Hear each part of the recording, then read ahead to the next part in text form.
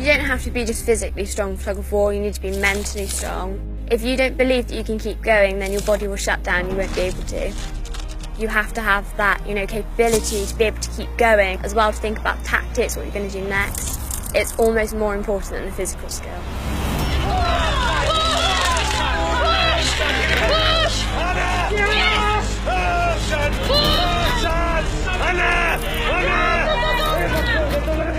I started tug of war and I really loved it. I get to travel so much, which is amazing.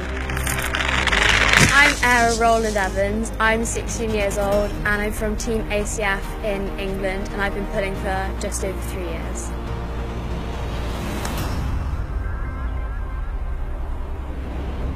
When I pick up the rope, I'm thinking about different tactics, how I can try and pull the team backwards, what I'm going to say to the rest of my team because I'm the captain, how I'm going to do the best I can do. So usually that's can I get low, looking at the other team, you know, sizing them up, thinking they're quite tall, let's dip low, or they're really short, let's try and lock on and hold them. So a lot goes through my mind of how I can beat the other team.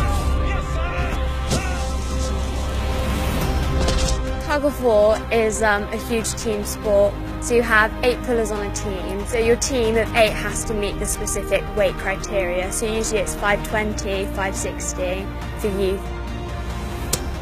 We have some specialist equipment in tug of war. So firstly we have the boots, which they have special heels that are made of steel. So this allows you as a competitor to actually stamp into the ground really hard we also have a belt. Yeah, it's just to try and stabilise you, help keep the rope in one place. We also have tack, which um, is used for your hands, so it actually allows you to hold on to the rope easily without falling off.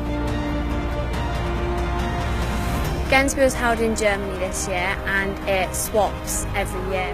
It brings people from different countries together, allowing them to make friends from different teams, different places, which is just amazing.